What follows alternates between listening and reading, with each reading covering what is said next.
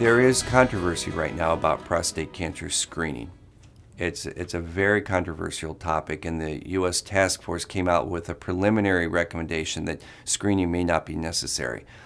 Um, and it's very important that people understand that there are certain populations of people at very high risk for prostate cancer, not only uh, uh, developing prostate cancer, but then going on to develop disease that may be life threatening.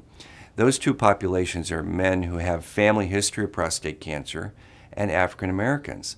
And those two particular populations really should continue to receive screening. And in general, the American male has a slightly higher risk of prostate cancer than many of our counterparts throughout the world. It may be diet related, it may be environmental. So we do not believe that the blanket statement of non-screening should be done. We believe that the uh, screening should be discussed with the patient and the pros and cons addressed in great detail so that they know what their what the options are for them.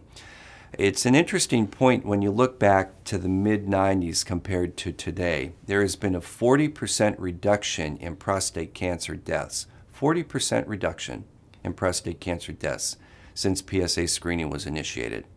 If it wasn't PSA that improved the outcomes, what was it? And that is something I talk to patients about.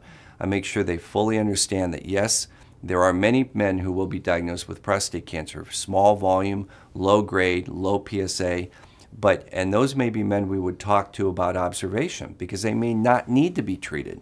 On the other hand, there are a lot of men out there, 32,000 last year in America, who died from their prostate cancer.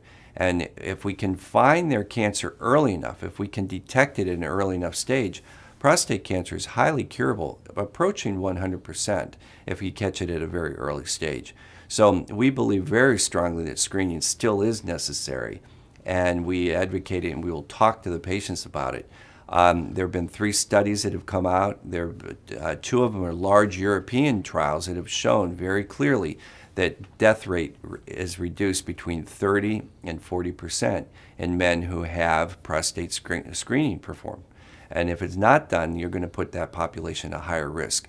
We are passionate about this here at GW because of the fact that we're in the city in America with the highest death rate from prostate cancer. And we really feel that screening still should be uh, part of the program.